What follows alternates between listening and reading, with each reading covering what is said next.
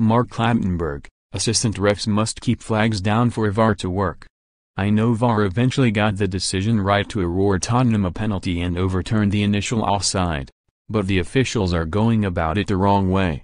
Assistant referees are flagging for marginal offside decisions. Why are England not following the way FIFA implemented VAR in the World Cup? What FIFA recommend is to keep the flag down. If a goal is scored, then the offside decision will be checked by VAR. Had Michael Oliver blown his whistle before Harry Kane was brought down, or Kane or the keeper had stopped when they saw the flag, then the wrong decision would have stood. That is why it is important to keep the flag down on marginal offside calls and allow the play to continue.